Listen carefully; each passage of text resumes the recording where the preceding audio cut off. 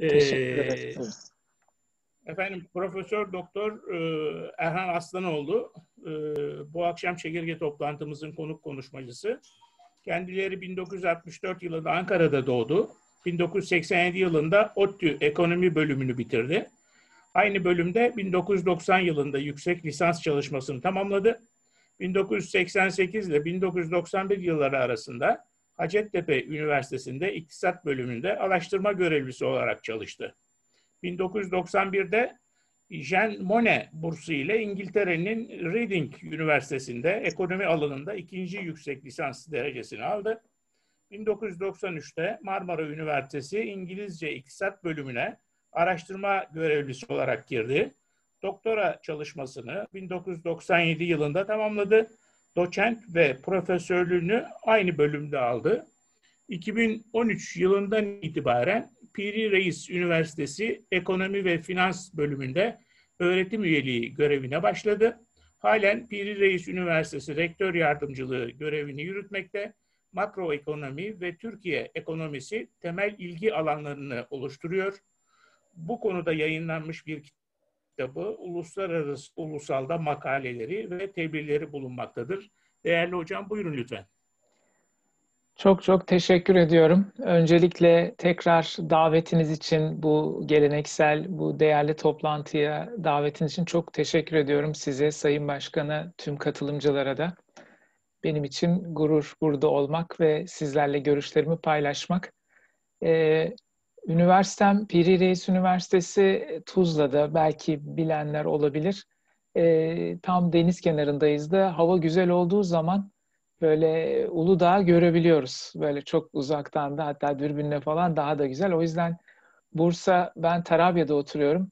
Bursa'ya bir saat, Tarabya'ya bir, bir buçuk saat daha da yakın bir yerdeyim. Yani bir anlamda da Bursa'ya çok yakın birisi olarak da öyle bir e, benim için Bursa'nın ayrı bir anlamı var. Zaten her zaman Bursa bizim için önemli. Çok sık gördüğümüz ama şu anda bulunduğum üniversitede e, Bursa'ya çok yakın, uzaktan gördüğümüz bir yer. Şimdi e, ben hızlı bir şekilde görüşlerimi sizlerle paylaşacağım. Bir sunumum var. E, e, bazı grafikler, tablolar aslında çok sayıda var ama ben bunların bir kısmını kullanarak e, kısaca Türkiye ve dünyadaki gidişata ilişkin, önümüzdeki döneme ilişkin görüşlerimi paylaşmak istiyorum. Sonra olursa tabii sizlerin yorumlarınızla beraber daha da değerli olur. Sorularınız olursa yorumlarınız onları da cevaplamaya çalışırım. Şimdi şöyle müsaadenizle bir e, şey açayım sunumumu. Şöyle. Evet. Bir saniye sanıyorum. Ee, sizler de görebiliyorsunuz şu anda. Şimdi e, önce dünya ekonomisiyle başlayacağım. Sonra Türkiye ekonomisiyle e, ilerleyeceğim. Sonunda da hepsini zaten genel beraberce değerlendiririz. Olabildiğince güncel ve bugünlerde konuştuğumuz konuların etrafında kalmaya çalışacağım. Şimdi aslında dünya ekonomisine baktığımızda birçok konu var konuşulan ama tabii öne çıkan işte basın, bu dış basın, yazılı, görsel baktığımızda birkaç konu öne çıkıyor. Tartışmasız birinci konu COVID-19 yani ekonomiyle alakalı kısımları direkt söylüyorum. O zaten her yerde var. Covid-19'un seyri. E, dünyada bu e, ilk ilkbahardaki ataktan sonra bir toparlanma, V şeklinde bir toparlanma olduğu sık dile getiriliyor. Var mı ve bu devam ediyor mu, eder mi? E, önümüzdeki süreç nasıl bir harf olacak gibi konular e, sık konuşuluyor. Ve Amerikan seçimleri aslında şu anda sıcak, en sıcak konu da o. Bu yıl tarihi bir daralma yaşıyor dünya ekonomisi. İkinci Dünya Savaşı'ndan bu yana en sert daralmayı yaşıyor, e, yaşamış olacak. E, öyle bir yıl içerisindeyiz ve bunun ana nedeni COVID-19. Eğer dünya ekonomisi tabii birçok başka sorunu da var ama e, toparlanacaksa, e, bu, bu süreci atlatacaksa COVID-19'un geride kalması ya da bugünkü şekilde hayatımızı etkilemediği bir düzeye geçmesi gerekiyor. Ee, bir başka ifadeyle ekonomilerin V şeklinde toparlanabilmesi için COVID-19 grafiklerinin de böyle ters V şeklinde falan olması gerekiyor. Baktığımızda sizler de tabii yakından izliyorsunuz, hepimiz izliyoruz. Birçok kaynak da var. John Hopkins Üniversitesi'nin e, her gün yayınladığı, günde birkaç kere de revize ederek, güncelleyerek yayınladığı bir data setinden izliyorum. Bakın en son gelen nokta işte daha dünkü rakamlar, 4 Kasım rakamları. E, günlük vaka sayıları 700 binlere geldi. Şimdi bu e, şeyde Çin, Avrupa'ya sıçraması, sonra artış, yazın böyle bir yataylaşma ama son bir ayı bakın Ekim dönemini görüyorsunuz inanılmaz derecede e, bir yükselme var. Ve son gelen rakamlarda böyle. Amerika'da 100 binleri geçti tekrar. İtalya 30 bin, 40 bin yani e, dün Fransa'da maalesef 800 kişi hayatını kaybetmiş. E, bu da kayıp sayıları. Yani bu tarafta aslında tırnak içinde biraz daha pozitif diyelim. Tabii bunun pozitif tarafı olamaz ama e, vakalar böyle giderken e, buradaki resim biraz daha istikrarlı görünüyor artış daha sınırlı ama son dönemde maalesef o tarafta da böyle yukarıyı zorlayan hatta son gelen şeylerle son birkaç gündür de daha sert artışlar görüyoruz. E, dolayısıyla yani buradaki manzara e, ekonomilerin önümüzdeki dönemi için şu an itibariyle çok pozitif bir sinyal vermiyor. Önümüzdeki dönem e, zaten şu anda yaşadığımız karantinalar, izolasyonların olma olasılığı, e, daha da artma olasılığı yükseliyor gibi gözüküyor. E, biraz beklenen de bir durumda ama onu da aştı. Şimdi aslında ne bekleniyordu diye baktığımızda böyle bu iş ortaya çıktığından bu yana senaryolar yapılıyor. Bu Minnesota Üniversitesi'nin bir çalışmasından aldığım ve birkaç aydır kullandığım sunumlarında üç tane senaryo var. Hepimizin de konuştuğu aslında. Şu anda ekranda gördüğümüz iyimser senaryo aslında artık yok diyebileceğimiz bir senaryo. O şuydu, e, yani ilkbaharda biz bir peak yaşadıktan sonra işte inişe geçiyor. Mesela Türkiye için diyelim 4-5 bine çıktı. Sonra işte 900'e 1000'e indi. 1500'e çıktı. Yine iniyor falan. Yavaş yavaş gidiyor. Böyle izolasyonlara falan pek de gerek kalmadan gittiğimiz, gideceğimiz bir senaryo. Aslında piyasaların ve uluslararası kuruluşların bas senaryosu ana beklediği senaryo da bu e, idi ve tahminler bu şekilde yapıldı. Ama şu anda bunun pek olmadığını, bu peak noktalarına e, yakın bir seyir olduğunu görüyoruz. Şimdi bunun dışında iki senaryo daha var. Bir tanesi en kötü senaryo diyebileceğimiz senaryo maalesef. O İspanyol gribinin tekrarı bir senaryoyu gösteriyor. İkinci dalga maalesef çok daha sert ve uzun süren bir dalga. İspanyol gribinde de öyle olmuş ve ne yazık ki kayıplar bu süreçte olmuş. Bu bir olasılık. Hem temenni ederek hem de yani dua ederek falan böyle bir şey olmamasını dileyerek söylüyorum ama böyle bir olasılık olabilir. Çok hızlı gelişiyor. Şubat'ta da öyle olmuştu. Ama tabii şu anda aşıya yakın olmamız, e, tıp dünyasının bugünkü düzeyi hani İspanyol gribi dönemiyle karşılaştırınca bu olasılığın daha düşük olduğunu hala e, düşünerek de bunu paylaşıyorum. Üçüncü olasılık e, senaryo ilkbaharda gördüğümüz o peak noktalarının sık sık tekrarladığı önümüzdeki bir yılda bir senaryo. Şimdi bu senaryo işte çıktı. Diğer Amerika'da 100 bine çıktı. işte İtalya'da 30 bin, 40 bin. Bizde tabii 4-5 bin ama e, şu anda 2 bin, 3 bin dediğimiz zaman biliyoruz ki o rakamlar çok daha yüksek. Çünkü açıklanma yönteminde de değişiklik yapıldı. Yani şu anda aslında biz ilkbahar peaklerini tekrar yaşamaya başladık biz dahil bazı ülkelerde geçiyor gibi görünüyor. İşte karantinalar geliyor. Bunlar belki bir miktar bastıracak. Az, çok. Sonra tekrar çıkacak, tekrar inecek falan. Ha böyle bir senaryo. Şimdi böyle bir senaryonun içinde gibi görünüyoruz. Hani temennimiz şuna dönüşmemesi. Ama bu da bir kötü senaryo. İyimser senaryo değil, bas senaryo değil. Bu senaryoda da bir kapanma, bir e, işte izolasyonlar oluyor ve ekonomiler beklenenden, çünkü tahminler iyimser senaryoya göre yapılmıştı, beklenenden daha düşük bir büyüme dönemine giriyoruz anlamına geliyor. Biliyorsunuz Avrupa'da işte başta olmak üzere bütün tahminler aşağı yönlü revize edilmeye başlandı. Bu yıl içinde, gelecek yıl içinde. Şimdi burada gidişatla ilgili bu e, PMI dediğimiz satın alma yöneticileri endeksi, e, eminim burada her sektörden çok değerli katılımcılar Türkiye'nin önde gelen üreticilerinin temsilcileri, sahipleri buradalar. sizler çok daha iyi biliyorsunuz ama sanayi, imalat sanayinde bütün dünyada bu PMI dediğimiz satın alma yöneticileri yani bir önceki aya göre siparişler arttı mı azaldı mı sorusuna verilen yanıtlardan hesaplanan endekste Covid ile çok sert düşüş fakat arkasından da çok sert bir çıkış oldu. Bu Ekim ayı verisi. Bakın V şeklinde bir dönüşü görüyoruz. Dünyanın her yerinde. Bizde de böyle ama bu tüm dünya için bir imalat sanayi piyama. Eylül, Ekim'de şöyle hafif boynunu kırmaya başladı ama bir güç var. Hatta e, yani şey öncesinin de üzerine çıkmış durumda. Covid öncesinin de üzerine doğru çıktı. 2017 seviyelerine doğru falan gidiyor. Şimdi bunun nedenleri falan uzun, çok tartışılabilir ama bir şey var. Bütün dünyada izolasyon, evde yaşama falan artıyor. Fakat evle ilgili harcamalar da artmaya başladı gibi. Yani biz daha çok teknolojik ürün almaya başlıyoruz, mobilyamızı yeniliyoruz. Ee, Avrupa'da, Amerika'da daha çok görülüyor. İnsanlar daha uzaklara taşınıyor. O evlerin dekorasyonu, mobilyası, oraya giderken araba almak istiyor. Yani bu kalıcı olacak bu evde yaşamak. Bu Covid sonrası uzaktan çalışma daha mümkün olacak beklentileriyle de. Belki sektörler biraz stokla çalışıyor ama bir şeyler değişiyor ve imalat sanayi ürünleri online alışverişe de imkan tanıyarak bu resmi karşımıza çıkarıyor.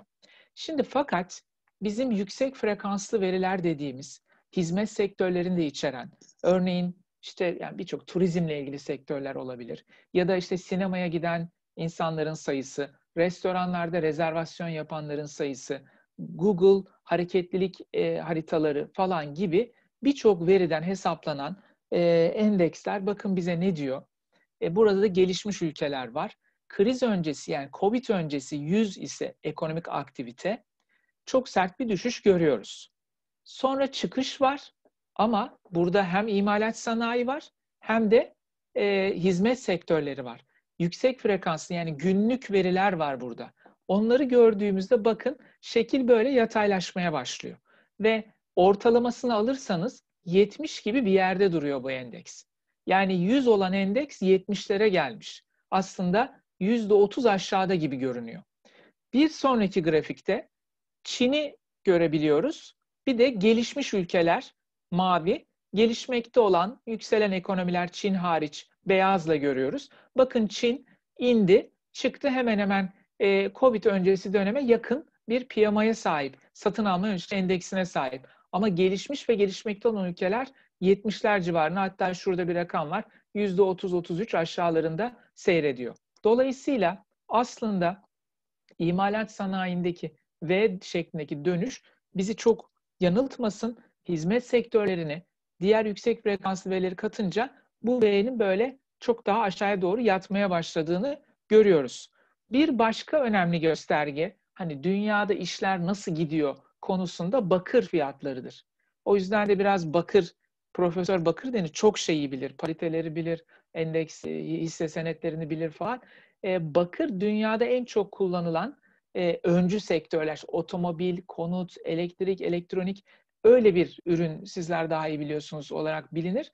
Bakır fiyatının düşmesi dünyada yavaşlamanın, artması hızlanmanın e, işareti olarak, öncüsü olarak alınır. Yani bakır yukarı gidince diğer emtialar da gidecek. Aşağı gidince diğer emtialar da gidecek diye düşünülür. Burada da görüyoruz. Bu Covid ile beraber aşağı giden, işte Ocak, Şubat şurada bir e, başka bir şey çıkmış. iniş var. Sonra çıkış var. Fakat son dönemde biraz zorlasa bile çıkışı yataylaşma var ortalamasına baktığımızda. Şu grafikte aslında biraz önce gördüğümüz grafiğe de benziyor. Tabii imalat sanayi ağırlıklı olduğu için de biraz böyle eskisinde üzerine çıkmış bir fiyat da var. Bir de bunun fiyatların ortalamanın üzerine çıkmasının bir nedeni de Covid nedeniyle Şili gibi bu işleri üreten ülkelerin üretimde sıkıntı da yaşaması.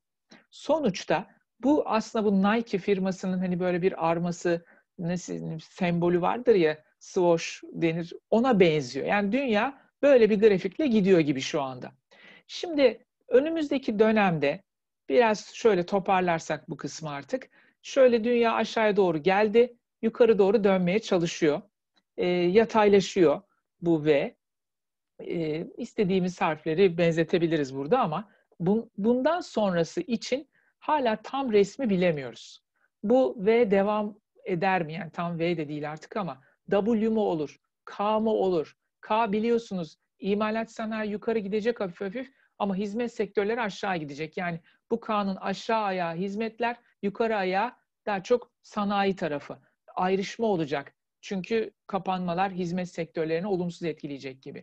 Bilemiyoruz nasıl seyredecek. Covid çok belirleyici olacak. Bu sürecin nasıl yönetildiği, yani devletler, hükümetler bu işi nasıl yönetecek? Doğru kapanmalar yapılacak mı? İkinci dalganın boyutu ne olacak? Aşı ne kadar etkili olacak? İlaç bulunacak, bulunmayacak, ne kadar etkili olacak? Birçok soru var. Artılar var. Dünyanın birikmiş bir sürü sorunu var. Çok büyük bir borç var, gelir dağılımı sorunları falan. Yani ekleyebiliriz. E, şunu söylemek istiyorum. Büyümeyle ilgili sorun devam ederse, dünya pastayı büyütemezse pastanın paylaşımı ile ilgili, gelir dağılımı ile ilgili sorunlar artarak sosyal siyasal anlamda başka sıkıntılara yol açabilir. Bugün dünyada biraz önce bir grafik vardı. Ee, şöyle hemen paylaşayım. Bakın 260 trilyon dolar bir borç var dünyada. Burada işte haneler, şirketler falan 50'şer 60'ar trilyon dolar bölümü de var. Dünyanın üretimi 87 trilyon dolar şu anda toplam gayri safi yurt içerisinde geçen sene. Bakın bu borç 2005'te 130-140 trilyon dolardı. Şimdi 260. O zaman dünyadaki üretim 70 trilyon dolardı. Yani gelirin iki katı borç varken şimdi üç katına çıktı. Ve bu artıyor hızla. Gelir düşecek bu sene dünyada. Bu kadar borç nasıl ödenecek? Büyüme ile ilgili her sorun bu borçların ödenmesiyle ilgili sorunu arttırarak finans sektörünü riske atar. Bu da daha büyük sorun demektir. Yani korkulan, kaygılanan durumlar bunlar. Covid'in e, daralma, büyüme ile ilgili sorunları uzatmasının getireceği riskler. O yüzden bilemiyoruz tam e, ama manzara şu anda böyle e, görünüyor. Konuşuruz. Ben çok vakit kaybetmeden şöyle ilerleyeyim. Bu durumun yani şu anda dünya yavaşlıyor görünüyor. Yavaşlayan bir dünya Amerikan doları için pozitiftir. Burada biraz finansal piyasalara yansıması konusunda birkaç şey söylemek istiyorum. Normalde dünya olumsuzsa güvenli liman dolara, Amerikan varlıklarına talep artar ve dolar pozitif etkilenir. Doların güçlenmesi gereken bir dünya. Euro dolar paritesi içinde denebilir. Ama mesela 1.16 idi işte 1.18'e falan fırladı iki gündür. Amerika'da bu süreç sıkıntılı devam ederse, hani mahkemeler itirazlar, sokaklar karışıyor, Amerika toparlayamıyor falan. O zaman dolar tabii ki pozitif gidemez. Ama artık Biden seçildi, tartışma bitti, Trump kabullendi falan. İşte Amerika için biraz daha istikrarlı bir dönem geliyor. Dünyada sorunlu. Doların lehine olması gerekiyor diye bekliyorum, düşünüyorum. Emtia fiyatları yatay negatif. Dünyanın yavaşladığı bir ortam bu anlamda böyle bir sonuç getirmesi daha doğaldır. Belir, risklerin arttığı dünya altını e, olumlu, pozitif etkiler. Ons fiyatı için söylüyorum. Altının biraz daha pozitif seyredeceği haftalara, aylara giriyor olabiliriz. Hisse senetleri e, dalgalı, yatay, negatif de olabilir ama çok para basılıyor. Merkez bankaları daha da para basacak gibi görünüyor. Sıfır faizde borsalar hani düşmek pek istemiyor. Yani çıkmaya da belki çekinecek ama e, dalgalı bir e, kavramını daha uygun görerek hisselerin halini biraz e, bu şekilde gördüğümü paylaşmak istiyorum. Şimdi e, Türkiye tarafına dönersek, Türkiye'de e, birçok konu konuşuyoruz. Tabii Covid bizde de aslında en önemli konu ve olması gerekiyor. Kurları çok doğal olarak fazlasıyla konuşuyoruz. Bu rekabetçi kur tartışmalarına çok değiniyoruz, dokunuyoruz. Nedir anlamaya çalışıyoruz falan. Merkez Bankası ne yapar? Para politikası nasıl ilerler? Normalleşme adımları dendi, durdu mu, devam mı eder? Türkiye'de büyüme nasıl? Yeni ekonomi programı e, hedefleri şimdiden sıkıntılı görünüyor. Doğru mu, yanlış mı? Jeopolitik riskler çok konu var. Ekonomiyi doğrudan dolaylı etkileyebilecek. Şimdi ben birkaç noktayı vurgulayarak ilerlemek istiyorum. Bir tanesi Türkiye'nin büyümesi. Biz böyle bayağı dalgalı bir seyir izleyen bir ülkeyiz bildiğiniz gibi. E, bu yılın ilk 6 ayında yani özellikle ikinci çeyrekte eksi e, şu kırmızı çizgidir. Onlara kadar geldik.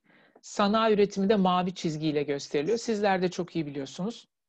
Türkiye'de büyüme sanayi üretimiyle korelasyonu yüksek bir e, veridir. Dolayısıyla aylık gelen sanayi üretim rakamları zaten ekonominin ikinci çeyrekte ciddi daralacağını bize söylüyordu ve oldu.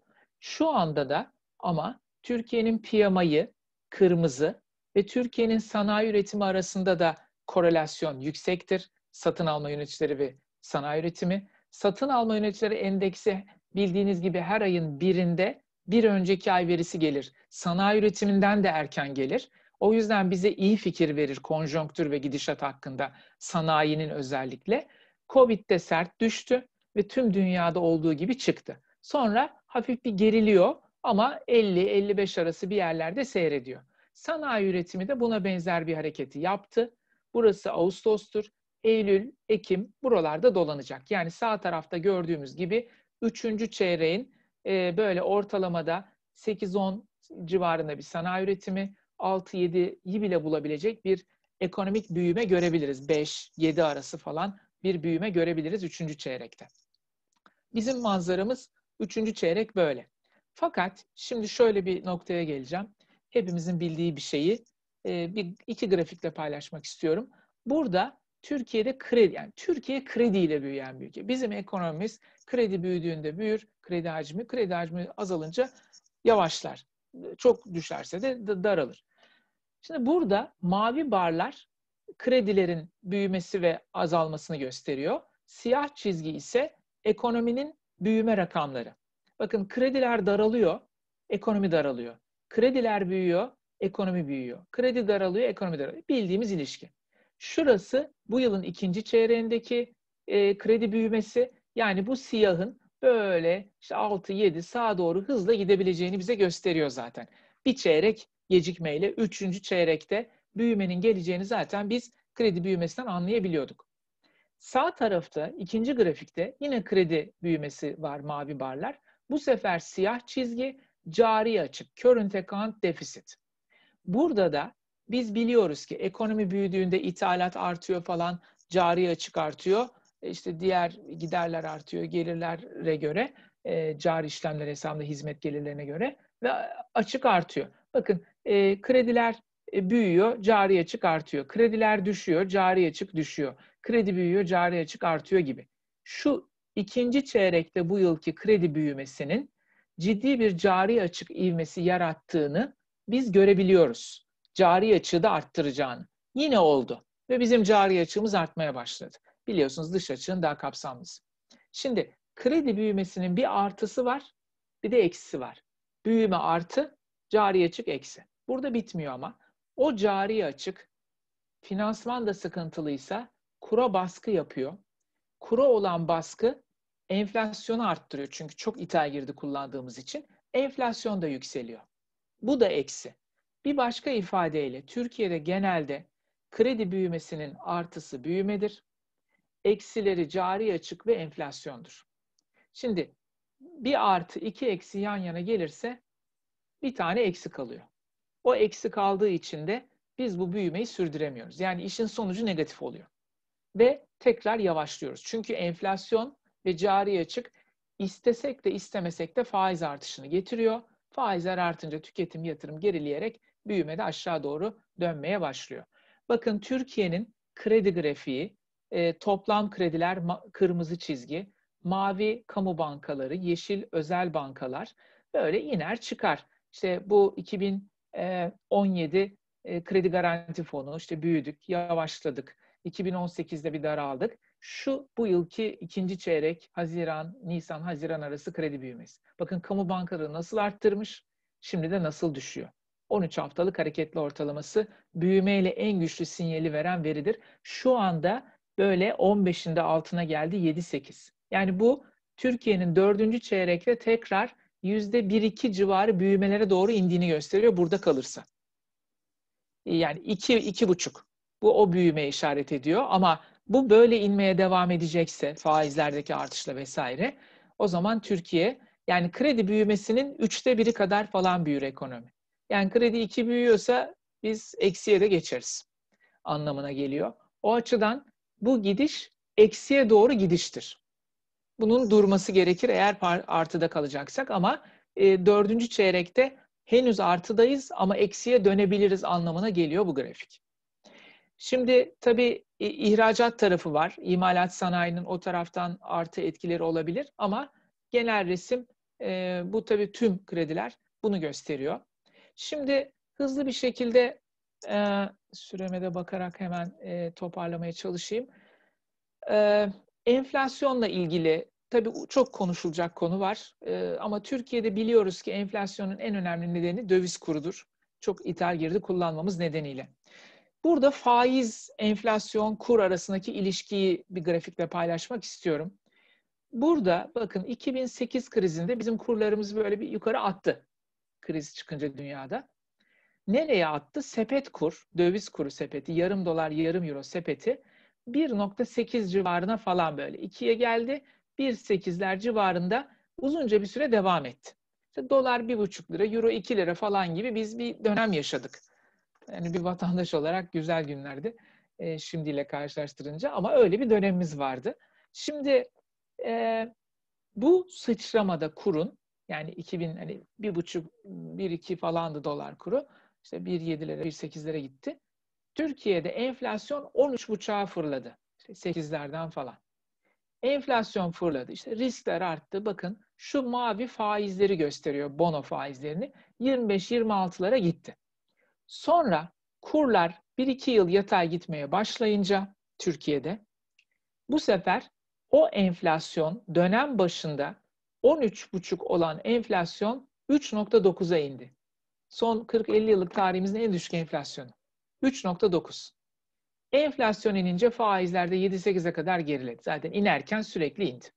Sonra bakın kurlar artmaya başladı sepet. Enflasyon artmaya başladı. Faizler daha da hızlı arttı. Yani tekrar arttı daha doğrusu. Kurlar yataylaştı. Enflasyon yine düşüşe geçti. Faizler yine düşmeye başladı. Kur arttı. Enflasyon arttı. Faiz arttı. Kur yatay. Enflasyon düştü. Faiz. Hep böyle. Kurun yatay gitmesi bile bizim enflasyonu düşürüyor. Ha bir de düşerse iyice düşüyor. Bakın burada da kur yukarı, faiz yukarı. Kur aşağı, faiz aşağı. E, kur yukarı, enflasyon, faiz yukarı. Kur aşağı, enflasyon, faiz aşağı falan. Şuraya kadar ya geliyoruz. Kurların yatay gittiği geçen yılki dönem. Yatay diyelim 5,5-6 arası. Faizler düşüyor anlaşılır. Enflasyon 25'lere çıkmıştı. 15-13 düşmeye başladı tamam. Ama bakın kurların arttığı dönemde bizim faizler düşmeye devam etti. Bu bir anomaliydi. Olamayacak bir durumdu. Oldu. Nasıl oldu? Merkez Bankası çok sert faiz indirdi ve e, aktif rasyosuyla bankalar kredi vermek zorunda kaldı ama mümkünse gideyim bono tahvili alayım, tahvil alayım, devlete borç vereyim dedi. Daha az riskli gördü. Bono tahvilin fiyatıyla faizi ters hareket eder. Bankalar bono tahvili aldıkça aktif rasyosu nedeniyle faizleri daha da indi. Ama işte bu süreç, o kredi büyümesi falan bizim enflasyonu cari açığı arttırınca Merkez Bankası da zaten faizleri doğrudan dolaylı arttırmaya başladı. Faizler çıktı, piyasa faizleri ve kur da böyle gidiyor. Şimdi şuna gelmek istiyorum. Bu kur böyle giderse bizim faizimiz yukarı gidecek. Hatta daha da hızlı gidecek maalesef. Gider. Türkiye'de faizlerin artmaması, istikrar kazanması için kurların artışını durdurması, hatta bir miktar gerilemesi gerekiyor. Yani bu buradaki çıkışı durdurabilmek için. Bu biraz gerileyecek. Bu biraz böyle yataylaşacak. Biraz zaman içinde yine ikisi birbirine yakınsayacak. Kırmızı ile mavi çizgiler. Eğer kurlar yukarı giderse maalesef faizler bu sefer daha da hızlı gitme eğilimde olabilir. O kırmızı ile mavi birbirine yakınsayacak. Ya kur aşağı gelecek ya da duracak orada ya da mavi yukarı gidecek, faizler yukarı gidecek. Şu andaki resim yani biz ya bir iktisatçı olarak kura bakın faizi tahmin edin. Kurların son 5-6 haftalık seyrine bakın. Faizler önümüzdeki günlerde nasıl seyreder cevabını söyleyin. Benim gördüğüm cevap faizler artmaya devam eder. Bizim kurla ilgili bir şeyler yapmamız lazım. O da en son konumuz işte kurla e, Merkez Bankası'nın e, gerçekten yapması gerekenler var e, kısa vadede. Tek başına yeterli değil. Böyle bir e, sihirli bir formül değil ama önemli bir araç bu noktadaki bu anomaliyi çözebilmek açısından. E, hızlı bir şekilde son e, konu ödemeler dengesi. Burada da çok fazla konuşulacak konu var. Türkiye'nin asıl yapısal sorunların olduğu alandır. Ama bunu şöyle bir e, soru olursa belki bir iki yere bağlarız. Şimdi bizim kurlar niye artıyor? Yani hepimiz e, bunun cevabı. Kurun artıyor. Kur artınca enflasyon artıyor, faiz artıyor falan. Türkiye'de döviz kurları döviz piyasasında belirleniyor. Yani bir piyasa varsa bir yerde arz, bir yerde talep gelir, çakışır, kesişir, fiyatlar belirlenir. Şimdi bu arz talebin çok kabaca bir sürü boyutu var ama şöyle bir belirleyen, şu, şu tür belirleyenleri var.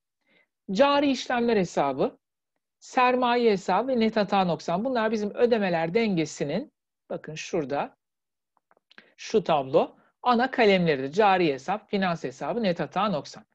Şimdi ödemeler dengesi tablosu aslında dövizle olup biten hemen hemen çoğu şeyi gösterir. Şimdi cari işlemler hesabı artı olabilir, eksi olabilir. Artı ise ülke fazla veriyor, eksi ise açık veriyor. Sermaye hesabı ülke para çekebilir, ülkeye sermaye girişi olabilir, ülkeden sermaye çıkışı olabilir. Ama bir not, teknik bir not sadece burayı karıştırmayalım da sermaye hesabının rakamı eksi ise bizim yükümlülüğümüz artmış, ülkeye para girmiş demektir. Artı ise ülkeden para çıkmış demektir. Yani e, onu teknik bir not olarak söyleyeyim. Ama ülke dışarıdan doğrudan yatırım, borsaya para, bonoya para çekebilir. Sermaye girişi ülkeye bir döviz arzıdır. Bizden para çıkıyorsa bir döviz talebidir. Verin paramı gidiyorum diyenler var demektir. Net hata noksan da hesaplarda göremediğimiz hesapla kasa farkıdır. Kasa. Kasada bazen fazla çıkıyor, bazen eksik çıkıyor. Ee, o da öyle bir hesap. Eksik çıkıyorsa bizim var zannettiğimiz döviz yok. Yani dövize bir e, ihtiyacımız var. Fazla çıkıyorsa arz anlamına geliyor. Şimdi bir de döviz tevdiat hesapları var. Bizim yerleşiklerin içeride döviz alma isteğimiz. Bunun birçok nedeni var. Temel nedeni enflasyondur. Ama biz e, elimizdeki DTH'ları satıyorsak bu döviz arzı demektir.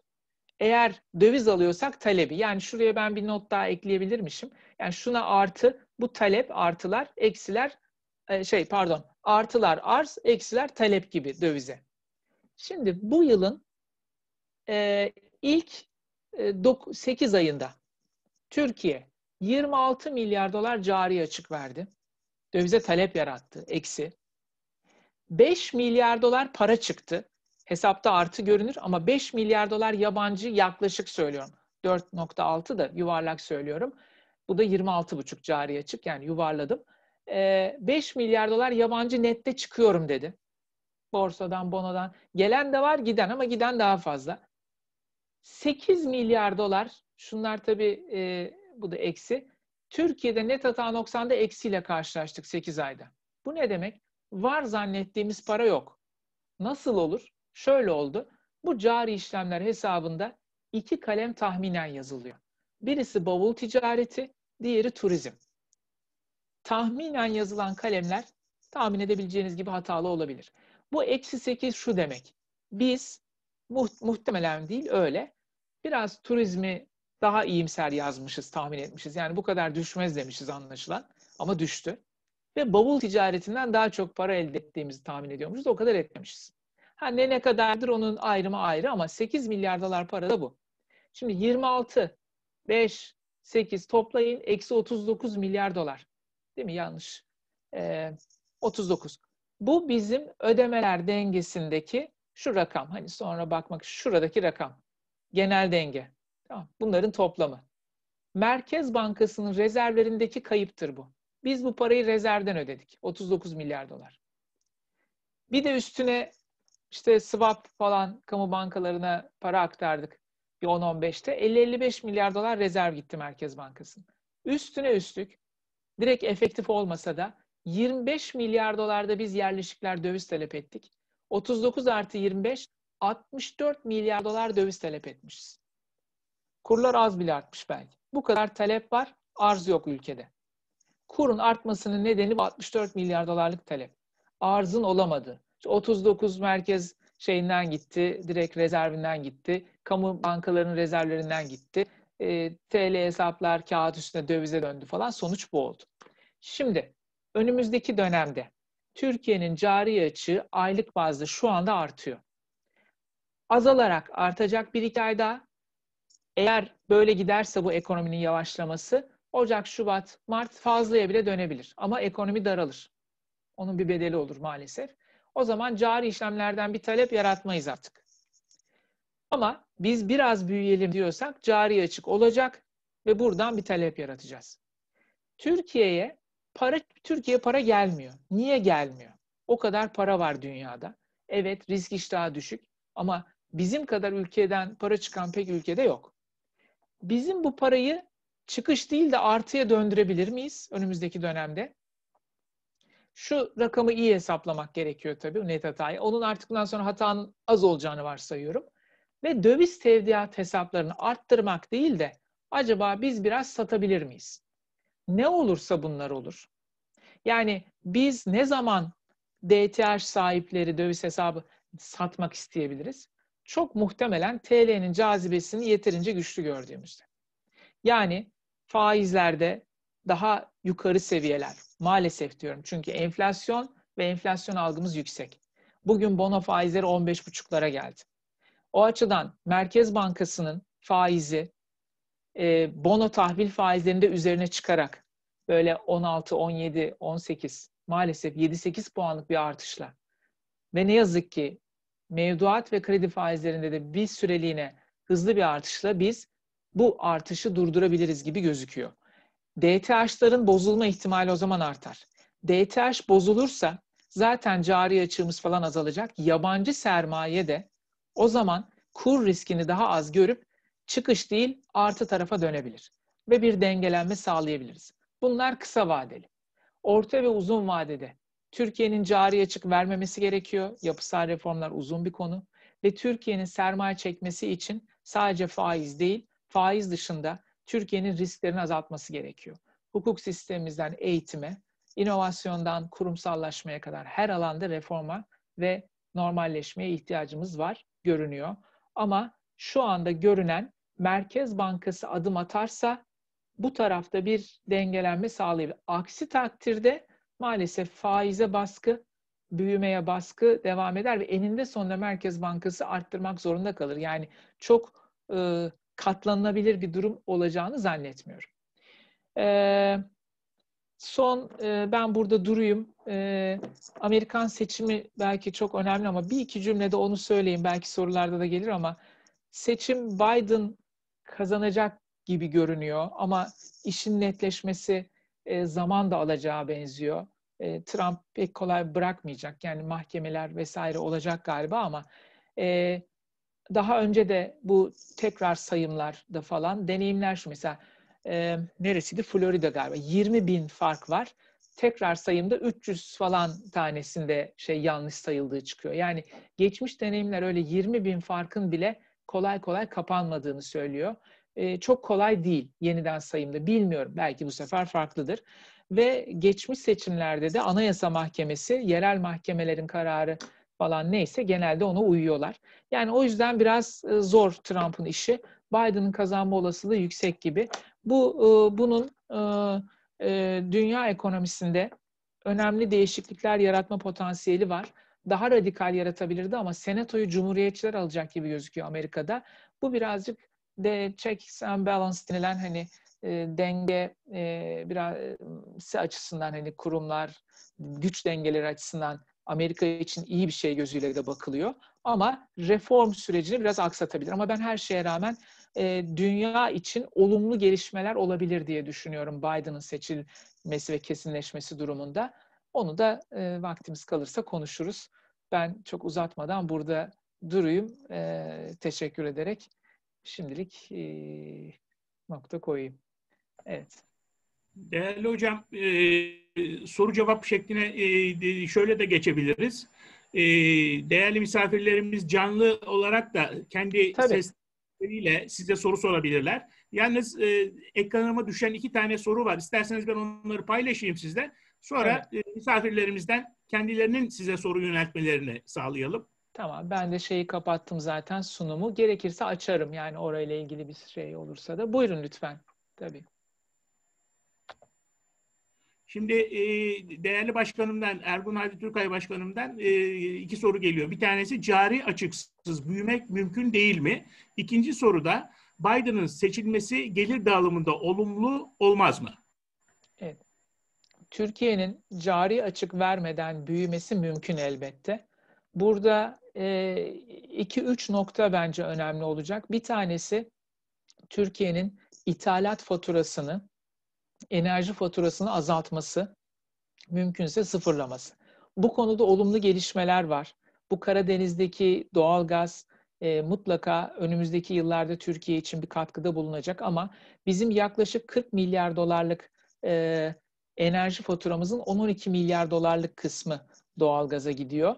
Yani biz daha yeni kaynaklar bulursak da şu anda 6-7 yıllık bir kaynağımız var görünüyor ama bugünkü tabloyla böyle bir tasarruf çok önemli ve çok değerli elbette. Ama başka kaynaklarla bu daha da artabilir. Fakat kritik bir nokta e, aslında bizim daha da şanslı olduğumuz dünya yenilenebilir enerjilere hızla geçecek gibi görünüyor. Biden da bu tarafa daha meyilli. Avrupa zaten bu konuda çok daha kararlı.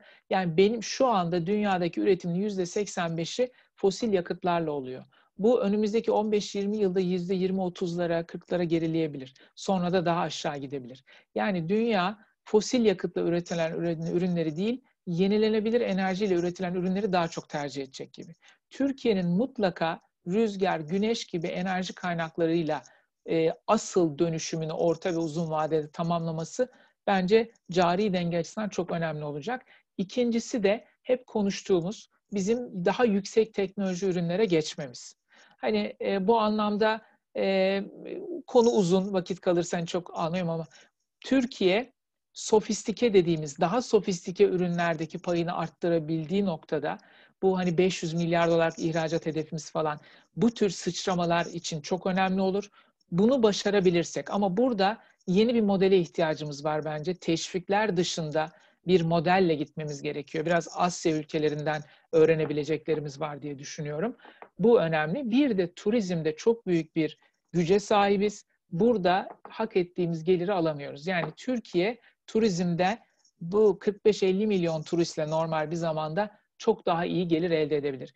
Biz bunları başarırsak hem büyürüz hem de açık vermeyiz. Bu mümkün. E, ikinci soru, Biden'ın seçilmesi evet zaten yani dünyada bu ciddi, çok ciddi bir sorun gelir dağılım meselesi. Amerika'da da ve gelişmiş ülkeler bu daha da e, yaygın bir şekilde olmaya ve net bir şekilde ortaya çıkıyor. E, bu bu konuda bayağı bir adım atacak gibi görünüyor. Vergi politikalarını kullanacaktı ama şimdi Senato'da Cumhuriyetçilerin olması oradaki adımları kısıtlayabilir. E, o zaman harcama tarafında sübvansiyonları tercih edecektir ama bence öyle bir talebi karşılamaya çok çalışacak. E, dolayısıyla e, Amerika'nın böyle politikaları da tüm dünya için biraz yavaş yavaş model olur diye düşünüyorum. Hani orada çok bozuk, diğer e, bozuk olan ülkelerde de benzer e, adımları görebiliriz kanaatindeyim. E, sanıyorum bu iki soru bu kadardı. Evet hocam ee, çok teşekkür ederiz. Değerli e, katılımcılarımız e, sorularınızı bekliyoruz efendim. Dilerseniz görüntüleri de açabiliriz. Zaten e, programın sonunda e, görüntülerin açılıp e, toplu bir fotoğraf çekilmesi istirhamında da bulunacağız sizlerden. E, evet sorularınızı değerli hocam da bekliyor. Buyurun. Efendim Burak Anıl Bey'den e, bir soru var. Yine ben, benim ekranıma düştüğü için ben paylaşıyorum hocam sizle. Evet, lütfen. E, Kasım TPK toplantısında 6-7 puan artacağına dair bilgiler vardı. Düşünceniz nedir? Ee, biraz önce de bahsettim ya benim de görebildiğim zaten en az o civarlarda bir artışa artık ihtiyaç doğdu maalesef. Çok daha azla biz bunu aşabilirdik ama nereden geliyor? Biz 10-25 şu anda politika faizimiz ama bono tahvil faizleri gösterge yani piyasanın en çok işlem gören tahvillerinde 15,5-16'ya doğru gidiyor. Merkez Bankası'nın e, reaktif değil yani piyasanın arkasından giden değil de önüne geçen proaktif bir politika izlemesi gerekiyor. Piyasanın önüne geçmesi gerekiyor. O da en az 16 bu 16'nın üzeri şu an ama orada o da riskli olur. Çok yakın olur piyasaya. Böyle 17, 18 gibi yerlere taşırsa bu da tabii maalesef 700, 800 bas puan gibi artışlar anlamına da gelir. İşte o zaman e, hani para politikasının o şok dediğimiz etkisiyle kontrol altına almak bir miktar daha mümkün olabilir diye düşünüyorum. E, hatta e, yani bugünkü gidişata bakacak olursak arada acil bir toplantı yapması da mümkün olabilir. Bence olsa iyi olur. E, geçmişte de bunları yaşadık. Çünkü sürecin uzamasının getireceği riskler var. E, şunu görüyorum ama e, belki vaktimiz hani bir grafiğimizde vardı. Türkiye'de e, kurla ilgili geldiğimiz nokta tarihsel olarak biz e, belki şöyle bir e, müsaadenizle bir tane grafik üzerinden bunu paylaşmaya çalışayım. Kur konusu hepimiz için önemli. Müsaadenizle. E, en sondaki. Şöyle geleyim. Bakın bizim reel kur endeksimiz şu. E, dün açıklandı. 60'a geldi. Bunun en çok ticaret yaptığımız 23 ülke parası ve enflasyondan hesaplanan bir endekstir bu. Yukarı gitmesi TL'nin değerlenmesi, aşağı gitmesi değer kaybetmesi anlamına geliyor. Ee, şu anda geldiği nokta bakın 94 ve 2001 krizlerinden de daha değersiz bir TL. 2018 Ekim'de 62 idi, şimdi 60 bu yılın Ekim sonunda. E, bu 3 yıllık hareketli ortalaması orada da neredeyse 89 yılının ortalamasına gelmek üzereyiz. Nereden bakarsak bakalım değersiz bir TL var. Şimdi biz aşağı doğru sarkıyoruz. Bu genelde yeni rekorlara giderken böyle bir yani teknik analizi çok bildiğim bir konuda değil ama biraz hafif oradaki bilgileri de kullanarak söylemek istiyorum. Şu 62'nin bir %10 aşağısında bir yerleri kendisine ilk böyle hedef görebilecek gibi görünüyor. O da 62'den 55-56'ya gelmesidir bu endeksin. Bu yaklaşık 7.90'lar o 62'ye denk geliyor. Bir %10'luk değer kaybı. Yani o da 8.60-8.70 falan gibi dolar kuru için söylüyorum bir seviye işaret eder. Oralar böyle hani yeni yer yapmak isteyeceği yerler konusunda önemli bir nokta gibi sanki. Teknik analiz yapanların da vurguladığı bir nokta oraları zorlaması Merkez Bankası'nı falan daha fazla, daha hızlı bir adıma zorlayabilir. Onu bekliyor olabilir. Ama biz 2000 hatırlayın burası 6.20 dolar kurunu gösteriyor 62. Ama biz o 6.20'de dururken hatırlarsanız 7 7.5'lara falan gidip sonra döndük.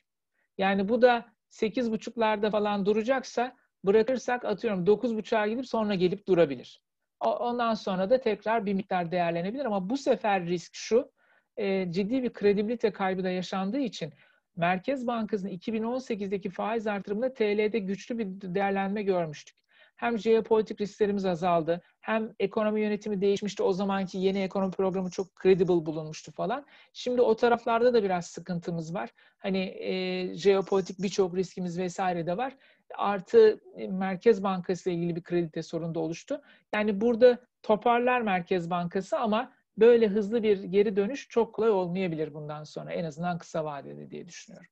Ama mutlaka bir dönüş olur. Güçlü bir artışla. Evet. Evet değerli misafirler sorularınızı bekliyoruz efendim.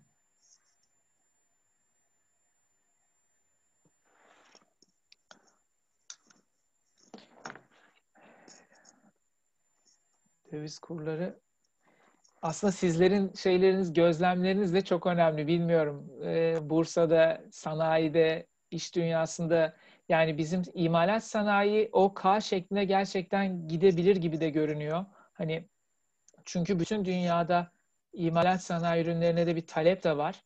E, o taraf e, bu süreçte bile kapanmalarda bile belli bir gücü koruyacak gibi görünüyor ama bilemiyorum Avrupa'daki gelişmelerin yansımaları oluyor mu? Yani Avrupa'nın büyümesi, dünyanın büyümesi bizim ihracatımız için çok önemli.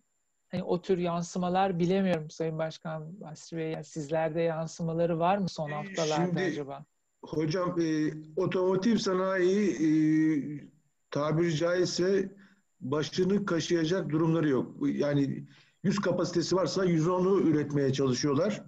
E, tekstil yüzde 65'lerde yani Bursa genelde e, otomotivle tekstil ağırlıklı olduğu için bu, bu iki sektörü anlattım. Ama e, turizm mesela e, yüzde beşlerde gibi. evet, o çok doğal. Şeye otomotiv yani bütün dünyada burada çok ciddi bir talep e, hakikaten olacak gibi bu evlerin hani daha şehir merkezlerinin dışına gitmesi, Covid döneminde hepimizin bildiği hani daha mümkünse toplu taşımaya binmeyelim tercihleri falan da etkili oluyor galiba. Ama bir de şu bekleniyor, bilemiyorum tabii otomobil sektöründen de burada çok temsilci olabilir. Ee, bu yani Amerika, Avrupa başta olmak üzere şehir dışına gidiş gelişlerin ya da daha yakın merkezlere biraz uzak olsa da arabanın kullanımının artması e, hava kirliliğini de olumsuz etkileyebilir. O yüzden otomobil sektörü bu hani elektrikli araçlar dönüşümü, çevreci e, dönüşümünü daha da hızlı yapmak durumunda kalacak. Arttıkça çevre e, kirliliği vesaire artabilir. O yüzden de bir an önce o dönüşümü de yapmak zorunda kalacak otomotiv diye beklentiler de var. Bilemeyeceğim. O tabii sizler daha iyi bilirsiniz. Bugün bir görüş daha geldi. Bu otomotivin e, tam kapasite olmasının sebebi e, kapatmaların olacağı. Bu sefer de kapatmalarda duruş olmasın diye yani pazar kaybetmemek için e, hazır stoklu gitme istiyorlarmış. Hı, anladım. Güzel. Evet o bu dönem için önemli bir strateji bence tüm, tüm firmalar için. Hani bu tedarikte hakikaten bu ikinci dalgada belki yine e, bir şeyleri temin etmekte zorlanma falan olabilir ki kısmen hep devam da etti diye biliyorum o. Biraz stoklu çalışma eğilimi doğru bir strateji bence. Onun da yansımaları var galiba. Otomotivin e, tam kapasite çalışma nedeninin o olduğunu söylüyorlar. Anladım. Tamam. O da önemli bir neden. Ee, doğru. Değerli hocam, e, Sayın Mehmet Buğra Yılmaz'dan bir soru var. Lütfen. Hocam merhaba. E, Amerika Birleşik Devletleri'nde seçim sonuçları dünya ticaret dengesini Asya'ya kaydırabilir mi? Herhangi bir değişim görüyor muyuz? Ee, şöyle düşünüyorum. Ben zaten e, dünya ticaret dengesi hani Biden'da seçilse, Trump'ta seçilse e, Asya'ya e, ya da böyle e, dünyadaki demografik trendlere de bakınca güney yarım küreye kaymaya biraz daha aday gibi gözüküyor. Yani şu anda dünyanın nüfusu 8 milyara yaklaşıyor. 2100 yılında 11 milyar, 11,5 milyara gelmesi bekleniyor. Bu 11,5 milyarın 4-4,5'u Afrika'da, 4-4,5'u Asya'da, e, bire yakını da Güney Amerika'da yaşayacak gibi. Yani Kuzey Yarımküre'de işte Amerika, Avrupa, Rusya falan neredeyse 1-2 milyar, Güney 8-9 milyar. E, dolayısıyla yani nerede iş olur, nerede ticaret olur falan daha çok Afrika, Asya, bu İpek yolu falan yani bu bölgeler bence artacak. Bu ister istemez olacak bir şey. Biden döneminde yani bu bu ana trend bence devam eder. Biden e, e, Trump'ın başlattığı ticaret savaşını bence devam ettirecek ama daha öngörülebilir olacak, daha az yıkıcı olacak, daha istişarelere açık olacak ama devam edecek diye düşünüyorum. Çünkü bu bir e, hegemonya savaşı yani dünyanın iki büyük birinci ekonomisi ikinci ekonomisinin bir hegemonya savaşı, bir ideoloji savaşı, bir teknoloji savaşı. Dolayısıyla o devam edecek ama hani orderly, disorderly İngilizce iki kelime vardı. Daha böyle öngörülebilir e, şekilde gidecek diye düşünüyorum ama bu ticaret savaşının her ne e, olursa olsun adı üzerinde bir ticaret savaşı dünya ticaretine olumsuz etkileri bence birkaç yıl yine devam edecektir. E, o süreçte de e, ama kendi içindeki doğasında evet bence Asya'ya, Afrika yani Güney Yarımküre tarafında daha fazla bir ticaret hacmi beklemek doğal olabilir. Orada bir tek şeye hazırlıklı olmak lazım. Bu iklim meselesi Güney Yarımküre'ye işte Afrika'dır, Asya'nın güneyidir falan daha kötü etkilemeye aday görünüyor. Ciddi bir göç de bekleniyor kuzeye. Hani bunlarla nasıl baş edilecek falan gibi uzun vadeli sorunlar var. O çok uzun vadeli ama kısa vadede ben ticarette böyle bir kayma bekliyorum evet. Hocam gelen sorular var. Ee, yine Sayın Burak Anıl'ın Türkiye Cumhuriyeti Merkez Bankası'nın eksi 45 milyar dolar rezervinin kısa ve uzun vadede olumsuz etkileri hakkında neler düşünüyorsunuz? Ee, yani şu anda kısa vadede zaten yaşıyoruz. Ee, işte kuru tutmakta zorlandığımız bir ortamdayız. Halbuki rezervimiz olsaydı belki daha e, hani en azından doğrudan satışlarla müdahale şansımız olacaktı. E, Merkez Bankası rezervlerinin e, bu tür şokların yaşandığı dönemlerde e, doğrudan müdahale için yeterli olmasını bekleriz. Normalde ülkenin kısa vadeli dış borcu artı cari açığının toplamı kadar bir rezerve ihtiyaç vardır. O da Türkiye için 170 milyar dolar kısa vadeli dış borç vadisi bir yıla kadar olan borç artı 30 milyar dolar cari açık 200 milyar dolar demek. Brüt. Bu bizim, bizim e, brüt rezervimiz zaten altın dahil 80-85 milyar dolar. Hani onun neti swap dahil e, Burak Bey sanıyorum gerçekten e, onları çıkarınca eksiye de gidiyor net rezervler. Bu kurlarla ilgili e, elimizdeki kontrol araçlarının daha azalması anlamına gelir. Tek bir araç kalıyor bu anlamda faiz. E, TL'yi cazip kılmaya çalışmak. Hani onu da kullanmazsak daha işte gördüğümüz manzara çıkıyor. E, Türk lirasının istikrarını güçleştiren bir unsurdur. Faizi kullanmak e, bu durumda tabii büyüme için olumsuz etki yaratır. Hani yani faizle durduralım deyince de bunun maalesef büyümeye olumsuz etkisi oluyor. Rezervimizin eksi olmasının kurdaki istikrar ve büyüme açısından e, kısa vadeli olumsuz etkileri var. Uzun vadede de ülkenin daha güçlü sermaye çekmesi ve ülkenin yatırım yapılabilir ülke olması statüsünde risklerini arttırır. O yüzden hani bu dönüşümü bizim biraz e, tasarruf ederek, az tüketerek ama çok üreterek ve de olabildiğince mümkün olduğunca ihracat yaparak o rezervleri gerçek gelirle kapattığımız bir dönüşüme, değişime ihtiyacımız var gibi. Hocam son bir soruyla e, dilerseniz kapatalım. Sizi de e, yormayalım fazla. Rica ederim. E, Coşkun Özden, Abdullah Bey'in e, şöyle bir sorusu var. E, cari açığımızı azaltmak için ne yapmalıyız? Üretim arttırdığımızda ithalat artıyor. Siz çıkış yolu nedir? E, bu kısır bu kısır döngüden diye bir soru sormuş kendisi. E, teşekkür ederim. Yani orada üç şey e, ben önemli olduğunu düşünüyorum tekrar etmek gerekirse. Bir tanesi bizim ithalatımızdaki aramalı ve enerjinin faturasını düşürmek. Burada gerçekten hani dediğimiz gibi Türkiye'nin yeni enerji kaynakları bulmasının önümüzdeki dönemde artı bir etkisi olur. Ama bizim e, her türlü enerji e, kaynağını yerel olarak üretmek, özellikle yenilenebilir enerjide hızlı adımlar atmaya çalışmanın çok önemli olacağı kanaatindeyim. Ara mallarının olabildiğince içeride teşvik edilmesi üretiminin bir sanayi planıyla Türkiye'nin e, bunu başarmaya çalışması yine bence önemli. İhracatta da hamleyi e, tamamen piyasaya bırakarak değil yüksek teknoloji ürünlere geçmeyi, sanayi planlarıyla geçmeyi ve burada e, hani diyor Kore modeli, Japon modeli, Alman modeli baktığımızda bu ülkelerin böyle bugün gördüğümüz dev teknoloji firmalarının tarihinde hep belli aşamalarda kamu özel işbirliği var. Yani bunun bir formatını yani bizim toplumumuza hangisi uyar? Bizim sosyolojimize hangisi uyar? Yüzde kırk kamu koyar, yüzde kırk özel koyar, yüzde yirmi halka açılabilir örneğin. Bu tür bir işbirliktelik mi? Sanayi planıyla hangi ürünleri, neyi üreteceğimiz konusunda bir işbirliği mi? Ama bunların hepsi hepsinin üzerine aslında ülkenin yatırım yapılabilir bir ülke olması çok önemli. Yani toptan bir e, değişim o cari dengeyi bu düzen, bu değişimi sağlamak için gerekiyor.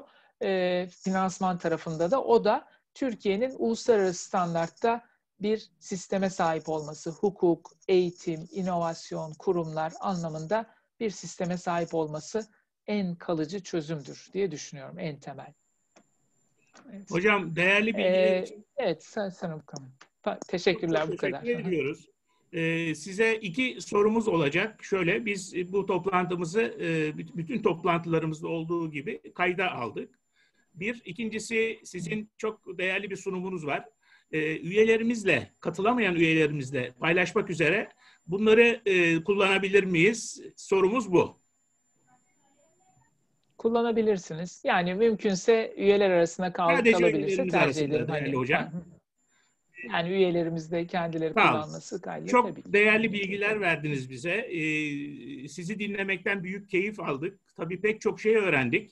Sağ olun, bizi kırmadınız, e, aramıza katıldınız. E, çok çok teşekkür ederiz. Şimdi bir hatıra fotoğrafı e, almak için bütün katılımcılarımızın ekran görsellerini açmalarını istirham ediyoruz. Ben de bu arada tekrar teşekkür ediyorum davetiniz için. e, Sayın Başkan'a, tüm üyelere, sizlere. E, benim için de keyif oldu. E, davetin için tekrar çok çok teşekkürler. Bizler ekonomistler, hocalar konuşuyoruz. Sizler elinizi taşın altına koyuyorsunuz, direkt işi yapıyorsunuz. Konuşmak daha kolay, iş hayatı daha zor. E, sizlere de kolaylıklar diliyorum önümüzdeki dönemde. E, Türkiye için e, yani en değerli ürünlerin olduğu sanayi bizim için çok önemli. Bursa bizim için çok önemli bir merkez. Ee, sizlerden de çok şey bekliyoruz. Tekrar teşekkürler. Çok çok teşekkür ederiz. Saygılar sunuyoruz. Sağlık ve esenlikler diliyoruz değerli hocam. Ben de teşekkür ediyorum. Sağ olun. Hocam çok teşekkürler. Çok sağ olun. Teşekkür ediyorum. Mersi. İyi akşamlar. İyi akşamlar. İyi akşamlar Görüşmek hocam. üzere. İyi İyi akşamlar. İyi akşamlar. İyi akşamlar. Hoşçakalın Basri Bey. teşekkür akşamlar. İyi akşamlar. İyi akşamlar. Mersi. Teşekkürler. Çektiler herhalde fotoğrafı. Hmm.